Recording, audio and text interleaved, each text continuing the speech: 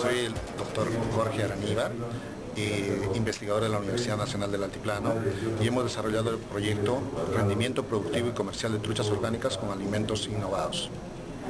Eh, básicamente los alimentos orgánicos eh, se han utilizado en la alimentación de truchas y se han logrado de que el crecimiento no sea disminuido, sino más bien casi igual al alimento convencional y además de eso también se ha mejorado el sabor de las truchas. Eh, últimamente se está planeando de que esta trucha orgánica, como ya ha venido también siendo antes, sea exportada a mercados como Estados Unidos, Australia y Europa también. El proyecto fue financiado por Concitec en una categoría que se llama Proyectos Procon. La empresa que esta es la más interesada y la que va prácticamente a recibir todo este conocimiento es Arapasac.